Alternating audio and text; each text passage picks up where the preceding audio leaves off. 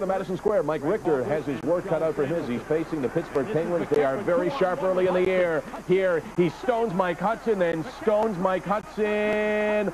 Once again, two straight saves right there by Mike Richter. Meanwhile, Peter Nedved works his way on Kenny Wregget. Wregget with a save, but Adam Graves bangs in the rebound. Rangers struggling a bit early in the year, lead 1-0. But the Penguins.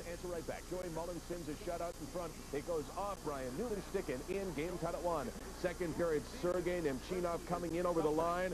Look out here as the serious hit applied to the head. Who was that that hit him? That was a huge shot. Was that LaRue? You bet it was. He was shaken up, but he was back in the game a little bit later on. Nick Kypreos then behind the net with an excellent feed right there to Jean-Yves Roy. He won times at first NHL goal. The Rangers led it 2 to 1, but the Penguins come right back. Jagr, like the puck is on a string, he gets it right back, and the hockey game is tied. Third period, the Rangers caught napping. Larry Murphy with a shot. Kevin Stevens waltzes in and uh, picks up the loose puck and scores what was the game winning goal. The Rangers led it, but the Rangers give one up at home. 3-2. Pittsburgh now 3-0 on the season. Mullen with his third, Jagr with his third, and Stevens with his second. Kenny Wregget 39 saves for the victory. So on this night, they did not miss Tom Barrasso. Penguins' best start since 1986-87.